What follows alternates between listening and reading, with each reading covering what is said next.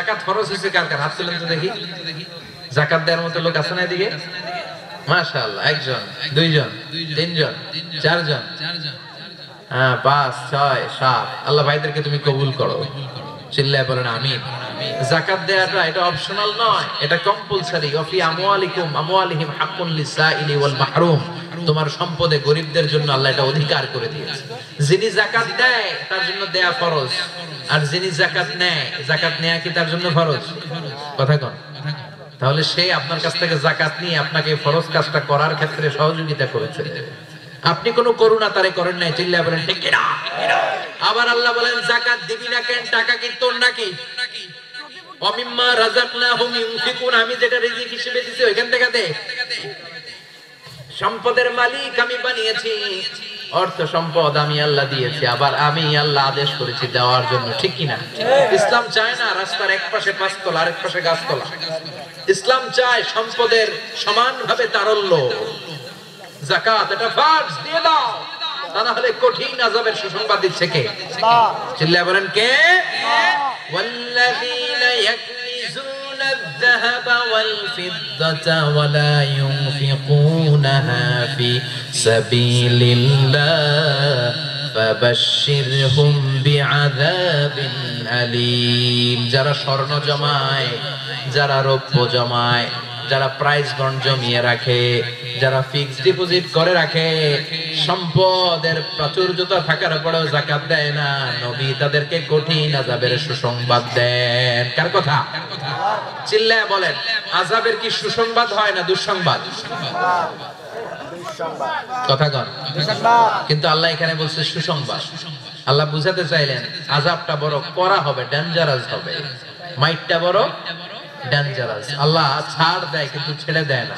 আল্লাহ ছেড়ে দেয়? কি দেয়? ছাড় দেয়। ছেড়ে দেয় না। আজাবটা বড় করা হবে।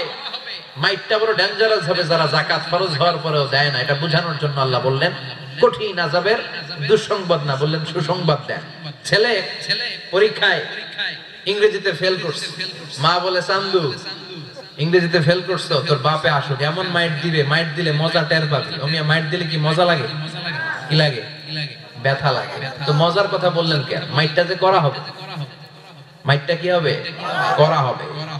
এজন্য জাকাত ফরজ হওয়ার পরে যারা জাকাত দেয় না তাদের জন্য করা মায় আল্লাহর কাছে আছে না নাই? চিল্লায় বলেন। অনেকে দেখবেন জাকাতের শাড়ি দেয়। জাকাতের লুঙ্গি দেয়। জাকাতের শাড়ি বলতে কোনো শাড়ি আছে? কথা কর এমন শাড়ি এমন পাতলা শাড়ি একবার ধুইলে দ্বিতীয়বার আর পরা যায় শাড়ি আপনার দিকে ডেস্কি দিয়ে চায় থাকে। রং নাই আছে না নাই? আবার এই শাড়ি লুঙ্গি গুলো নেওয়ার জন্য যারা লাইন ধরে ঢুকে এরাও পদপৃষ্ট হয়ে মারা যায়। আছে না নাই? কিছু ভিডিও ক্লিপস আমরা দেখলাম যে হাজার হাজার মানুষ এই পাতলা বাজারের সবচাইতে নিম্নমানের সুতা দিয়ে বানানো, জাকাতের শাড়ি নেওয়ার জন্য এসেছে। ধাক্কা, ধাক্কি আর ভিড়ে পদপৃষ্ট হয়ে অনেকগুলো মহিলা মারা গিয়েছে। কেয়ামতের দিন এই জাকাত নামের এই কলঙ্ক সাজানোর জন্য যে এই আয়োজন করেছিল, তাকে আল্লাহ সুপ্রিম কোর্টের কাঠগড়ায় জবাবদিহিতা করতে হবে, চিল্লায় বলেন, ঠিক কিনা? জাকাত, এটা ছেলে খেলা না, এটা পুতুল খেলা না। এটা যেমন মনে চায়, কিছু টাকা পয়সা মানুষের হাতে হাতে দুইশো দুইশো করে দিলাম, এইটা না। একজনকে এমন ভাবে জাকাত দাও যেন ওই টাকা দিয়ে তার কর্মসংস্থান হয়। ওই টাকা দিয়ে যেন রুজি রোজগার করে কিছু খেতে পারে, ঠিক কিনা? বুঝতে পেরেছেন? জাকাতের টাকা এমন না, দশ টাকা দশ টাকা করে আমি পাঁচশো জন ফকিরে দিয়ে দিলাম, এটা নয়। একজনের একটা সিএনজি কিনে দেন। তাহলে সিএনজি চালায়া সে তার ফ্যামিলিকে ভরণ পোষণ দিতে পারবে, আর কোথাও যে হাত পাতা লাগবে দোকান